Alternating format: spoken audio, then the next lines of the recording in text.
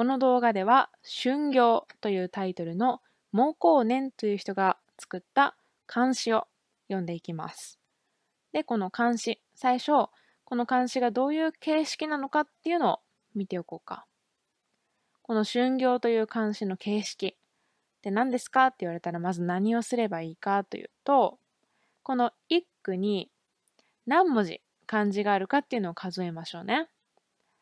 一句には今回5文字漢字があるので、まずは5言とメモしておきます。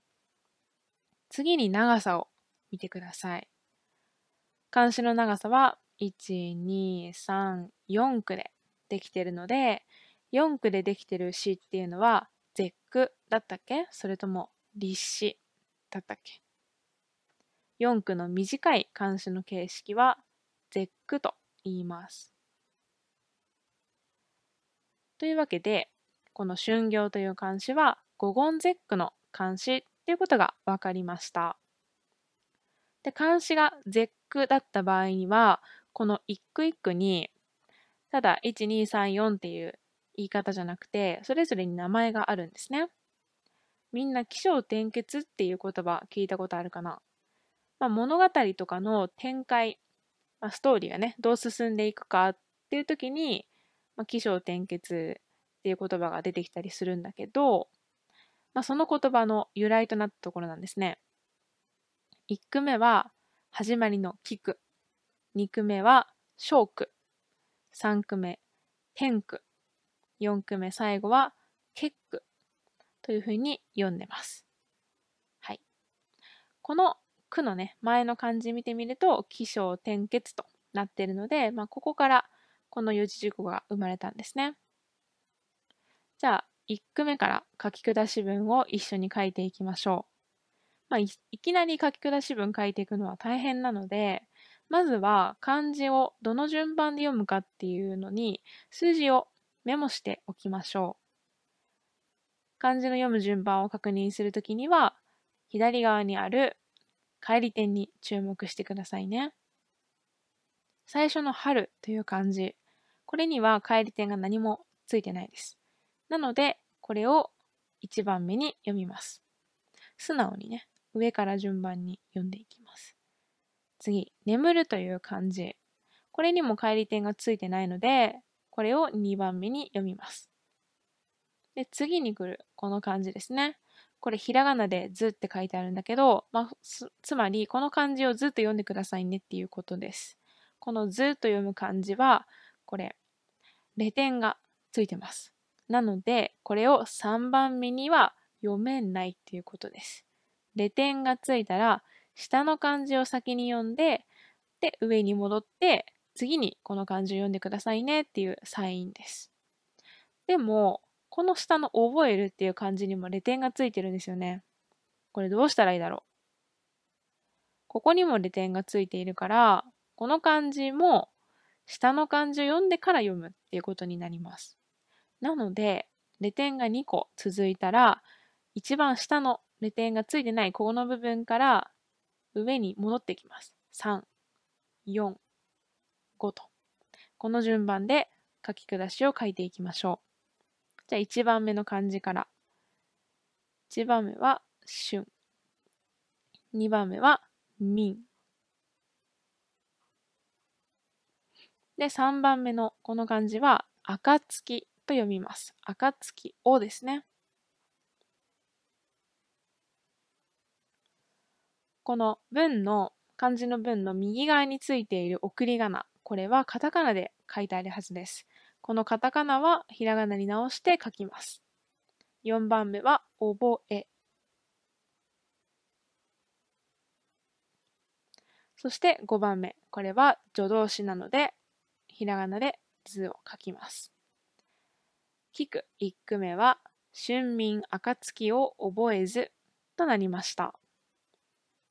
大丈夫かな ?2 句目は、最初、少々と続くね、この2文字には、帰り点が何もついていないので、これ、1、2と読んで OK です。次に来るこの漢字には2点がついてますね。2点が来たらどんなルールがあるかというと、2点の漢字はとりあえず飛ばしておいてくださいねってなります。2点の漢字はちょっと飛ばしておきます。次に来るこの「てい」と読む漢字。まあ、ひらがなで書いてあるってことはこれ送り仮名じゃなくてただこの漢字の読み方を教えてくれてるだけです。ていと読むこの漢字には何も返り点がついてないのでこれを3番目に読みます。その下にある、まあ、今回蝶って読むこの鳥ね。これには1点がついてますね。1点の漢字は読んで OK です。1点を読んだら、1点の漢字読んだら、その次に読む漢字に注意してくださいねっていうサインね。1が来たら、次に読むのは2がついてる漢字です。1点から2点に戻って、この漢字を読みます。これが5番目となります。じゃあ1番の漢字から順番に書いていこう。1、2が諸々。3番目がてい。4番目が鳥で、蝶ですね。で、おが送り仮名でついているので、これをひらがなで書きます。で、5番目は聞く。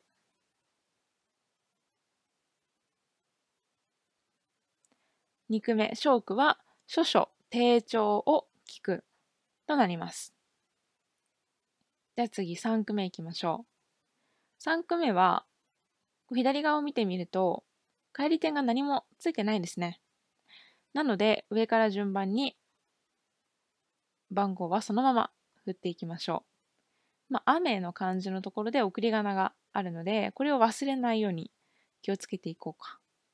1番目から、1番目、2番目のこの漢字の組み合わせで、やらいですね。